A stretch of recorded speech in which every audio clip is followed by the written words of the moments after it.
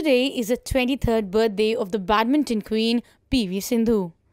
Sindhu became the first Indian woman to win an Olympic silver medal and one of the two Indian badminton players to ever win an Olympic medal, other being Saina Nehwal.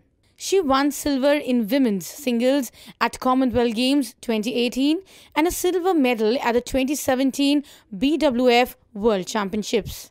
Currently number 5 in the world, Sindhu began playing badminton at the age of 8 and was coached by Mehboob Ali in Secunderabad. In 2014, she was named the NDTV Indian of the Year and the FICCI Breakthrough Sportsperson of the Year. The 5 feet 10 inch Hyderabadi girl is one of the tallest players among the present professional shuttlers and the recipient of India's fourth highest civilian honour, the Padma Shri.